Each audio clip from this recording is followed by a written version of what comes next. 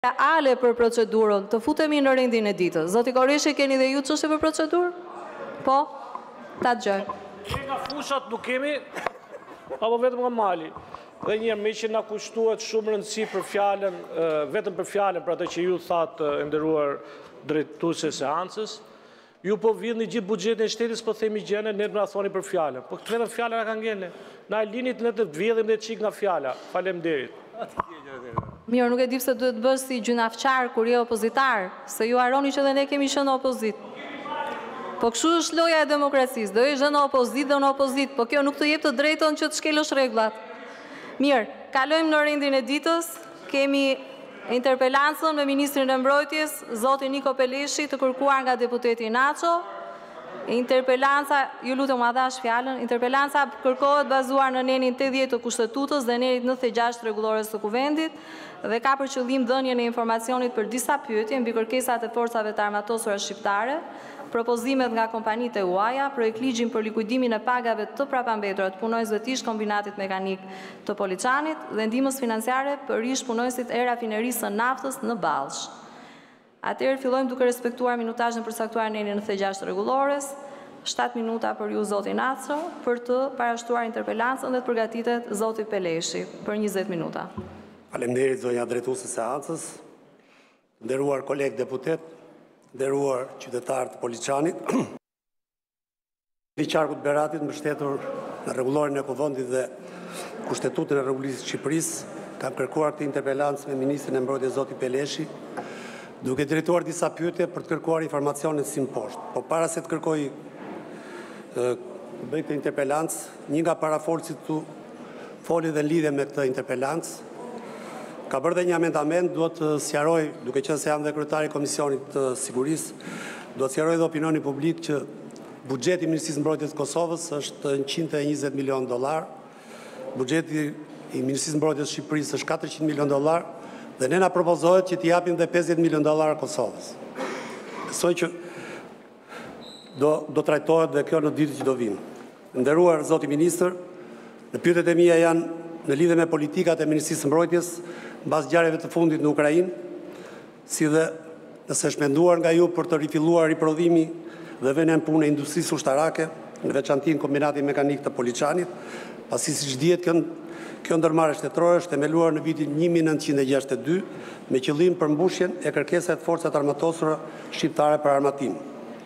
Zoti ministër, a ka patur propozime për të marrë me koncesion sektor të industrisë ushtarake nga kompanitë huaja apo vendase për t'i vënë në punë në përputhje me ligjit duke garantuar sigurinë kombëtare?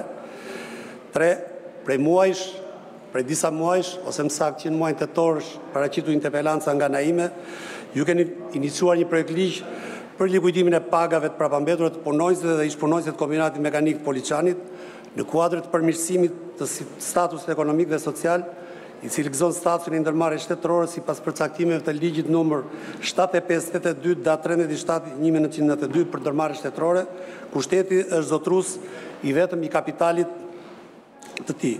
Dua të di se çfarë është bërë në lidhje me këtë projektligj.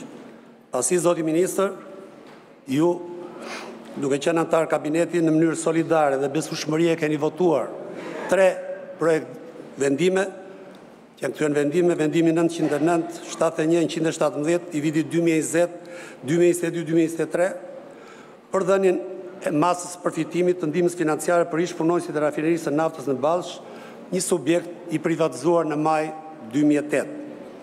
Edhe pse prej vitesh në Ministrinë e Mbrojtjes akoma nuk keni përmbushur detyrimet ligjore dhe kushtetuese për të bërë të mundur që të kthehen detyrimet e prapambetura këtyre punonjësve të Poliçanit, të Kombinatit Mekanik të Poliçanit sipas listë pagesave për pagat dhe deklarimin e kontributeve të sigurimeve shoqërore dhe shëndetësore.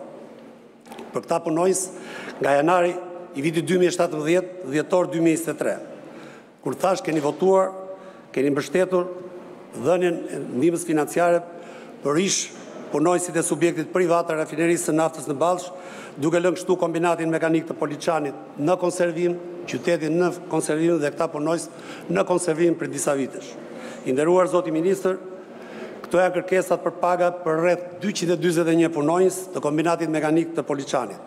Çfarë t'u them këtyre punonjësve dhe pas kaq kohësh, zoti ministër? Çfarë t'u them rreth katër mijë qytetarëve të cilët presin lajme nga ju si ministër, po dhe nga mua si deputet i zgjedhur prej tyre? Si të justifikohem para tyre? Kur ata më pyesin, si ka mundësi që për ish-punonjësit e rafinerisë së naftës në Ballsh, një kompani private është mbështetur nga qeveria dhe për ne nuk mbështetemi?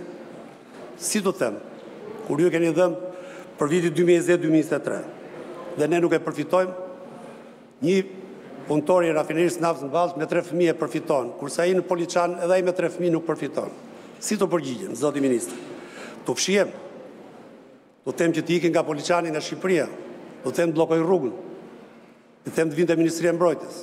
Nuk më takon mua zoti ministër. Kjo është një pyetje që ju duhet t'i jepni zgjidhje. E pyetja tjetër që më bëhet shpesh në zonën time zoti ministër është në lidhje me vendosjen e industrisë ushtarake në punë. Gjithë vendet e Ballkanit Perëndimor e kanë tejet të zhvilluar industrinë ushtarake. Le të marrim Malin e Zi, Bosnjë-Hercegovinën, Maqedoninë e Veriut, Serbinë, Kroacinë, Bullgarinë. Dhe nuk po flasim për Turqinë, as për Italinë. Jo, jo dhe për Greqinë që kemi në kufi. Ne kemi një industri të trashëguar. Ndoshta është e vjetër, po është investuar prej miliarda dollarësh dhe ne mbajmë të konservuar. Kur të tjerët, gjitur me ne në rajon, e shfrytëzojnë këtë industri. Si t'ju pyes, zoti ministër? T'u them që ne nuk kemi kapacitete, nuk duan burokratët e Ministrisë së Mbrojtjes, apo se kemi 30 vjet që e kemi më të lehtë që të boshatisim tunelet, të boshatisim depot, se kjo është rruga më e lehtë se sa ta vëmë në punë këtë industri. Zoti ministër, qytetarët e Poliçanit janë njerëz të thjeshtë, po ata janë njerëz të punës. Ata janë njerëz që janë me dinjitet, janë të duruar dhe kanë dinjitet. Dhe sigurisht, qoftë se u japim këto paga, nuk u bëjmë nder. Ata marrin çka u takon. Ata kanë historinë e tyre me këtë kombinat. Kanë jetën e tyre të lidhur vetëm me këtë kombinat. Është një qytet i tërë i ngritur për këtë kombinat. Dhe janë investuar me miliarda dollarë për ta bërë këtë kombinat, të cilën ne e mbajmë në konservim. Këtyre njerëzve ne u hoqëm punën. Deri diku u kemi hequr dhe shpresën.